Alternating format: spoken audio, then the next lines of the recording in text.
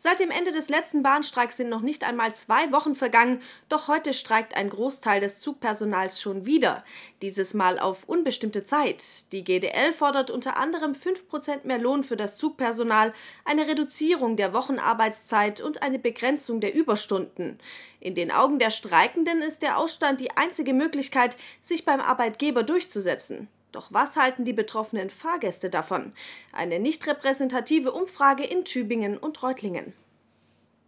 Nahezu gähnende Leere, wo normalerweise reger Verkehr herrscht.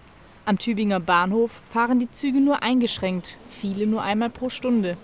Manche Verbindungen fallen ganz aus. Beim letzten Bahnstreik äußerten viele Betroffene noch Verständnis, jetzt nicht mehr.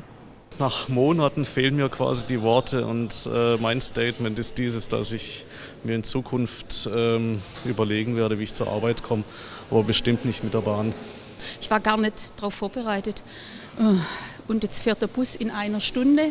Das Taxi kostet 25 Euro. Ich bin ganz nass vom Radfahren.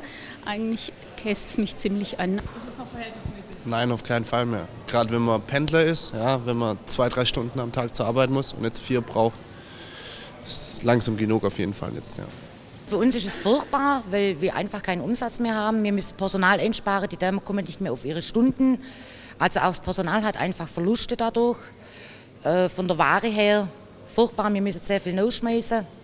Und wir wissen ja nicht, wie lange das jetzt wieder geht. Aber nicht nur wartende Bahnkunden waren am Bahnhof anzutreffen. Auch Streikende selbst hatten sich trotz des schlechten Wetters vor dem Gebäude versammelt. Mitleid mit den Betroffenen haben sie schon. Für die Bahnkunden ist es definitiv bescheiden. Allerdings ähm, spielt unser Arbeitgeber ein fieses Spiel mit uns und das ist halt die einzige Möglichkeit, wie wir als Arbeitnehmer darauf reagieren können. Ein ähnliches Bild am Bahnhof in Reutlingen. Auf der einen Seite leere Bahnsteige, leere Anzeigentafeln. Am benachbarten Gleis strömen die Menschen zu Scharen in einen der wenigen fahrenden Züge. Auch hier ist der Frust groß. Also der neunte Schrei in den letzten sechs Monaten, glaube ich. Nee, also das ist ein bisschen relativ zu viel. Also ich finde es gar nicht mehr richtig, weil äh, andere Leute verdienen auch nicht viel.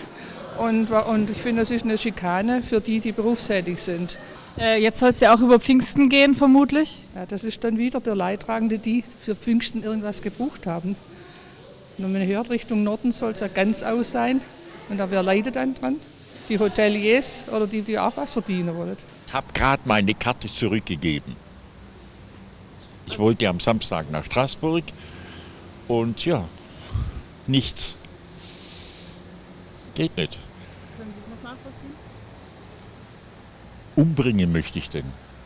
Wie lange der aktuelle Streik dauern soll, ist noch nicht klar. Die Gewerkschaft hat aber versprochen, das Ende mindestens zwei Tage vorher anzukündigen.